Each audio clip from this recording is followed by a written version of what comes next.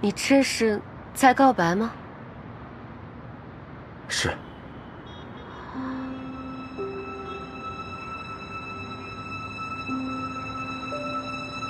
说实话，有那么一瞬间，我确实挺想逃离这里的。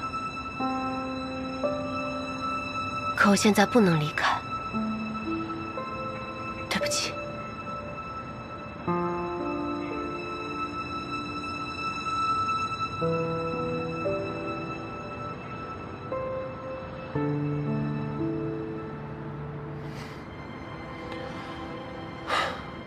没关系，到你了，我保证知无不言。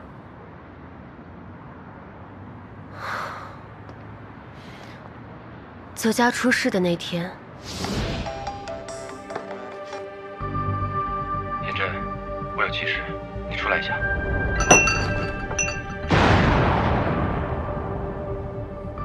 你为什么叫我出来？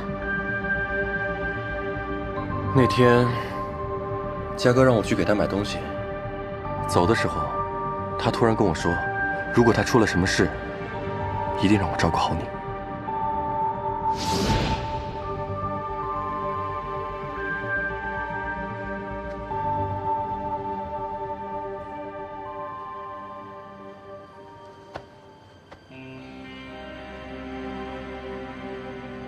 但是没想到，没想到，他真的出事了。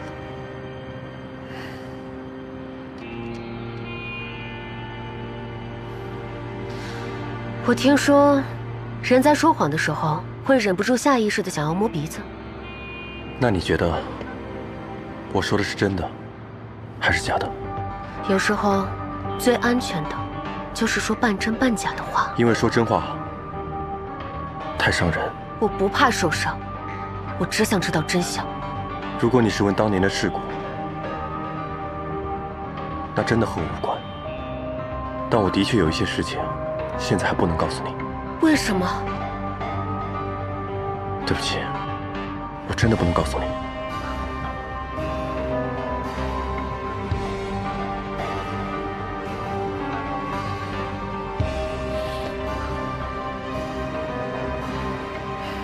谢谢。这两个人什么时候这么亲密了？没事。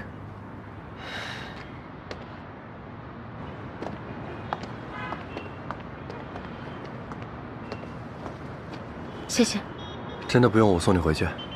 我有司机。在哪儿？上洗手间去了吧？我等等，你先回吧。好，注意安全。嗯。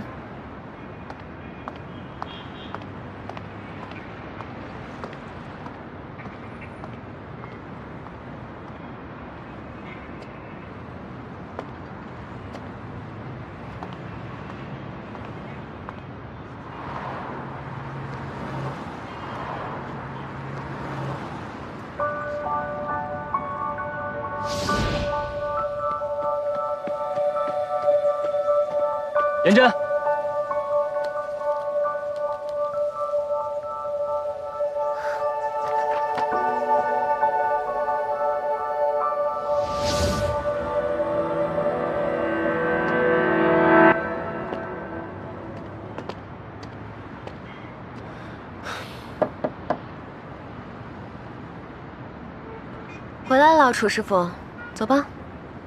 嫂子，这是什么战术？都说了顾城可疑，还主动约他出来，害到失去理智了是吗？你关心我？你是真的觉得自己的安危无所谓吗？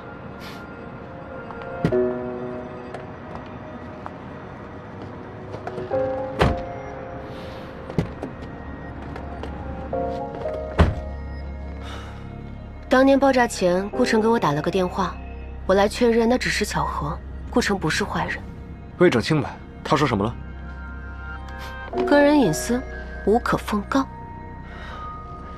行，他说什么你都信是吧？那我没什么好说的了。楚泽家，我看你能忍到什么时候？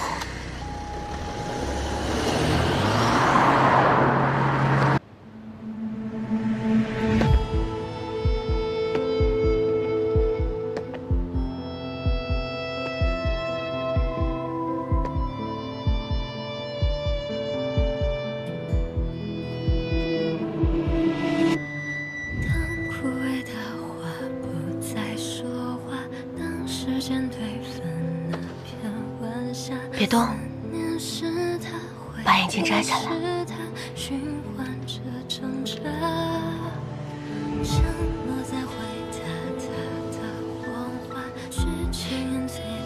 你的香水出卖了你。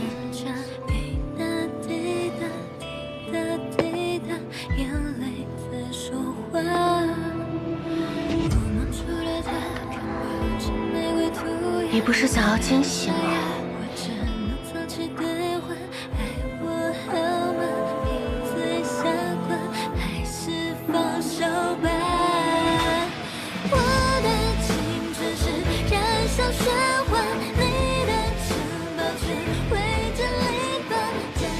老公，结婚纪念日快乐！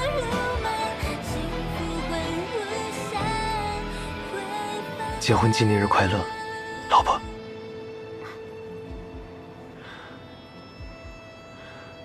我的礼物呢？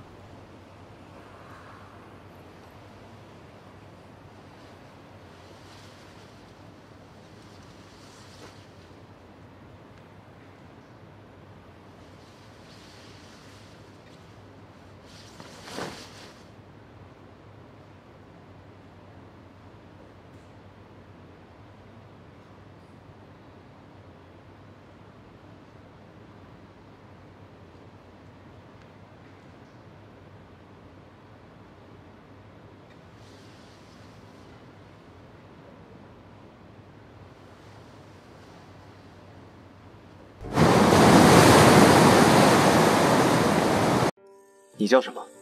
颜真。那我的未婚妻就叫颜真。贪心又没品，这就是你的本性吧？